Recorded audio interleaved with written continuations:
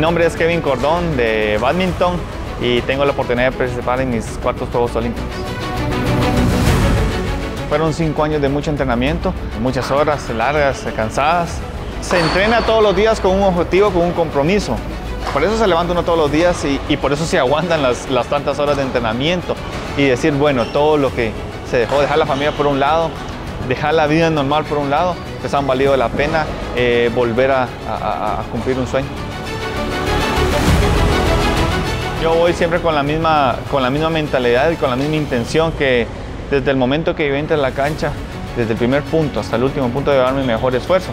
Para eso me he preparado, para eso son tantas horas de entrenamiento. Entonces eso es lo que yo, lo que yo eh, puedo asegurar, que voy a entrar con todo en, en el partido que me toque jugar, con el contrincante que sea y dar lo mejor de mí.